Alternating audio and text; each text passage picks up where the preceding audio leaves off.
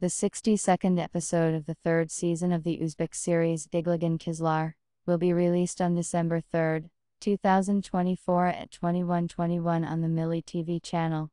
This episode promises to continue the dramatic story, filled with emotional experiences of the main characters.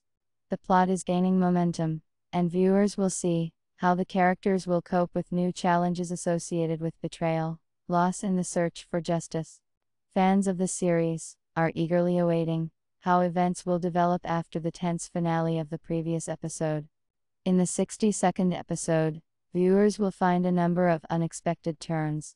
After the turbulent events that took place in the previous episodes, the heroines are forced to make difficult decisions that can change their fate. Intrigues continue to mount, and every action has its consequences.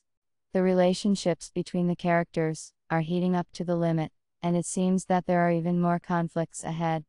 As always, the series raises important social issues, forcing viewers to think about the strength of family ties and the importance of supporting loved ones in difficult times. Don't miss the 62nd episode of the third season of Diglagan Kizlar on the Milli TV channel. There are even more emotions, dramatic moments, and unexpected plot twists ahead.